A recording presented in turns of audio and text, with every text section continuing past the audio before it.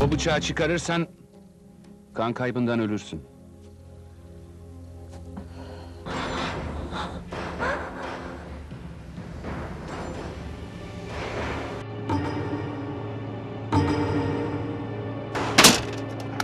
Ah!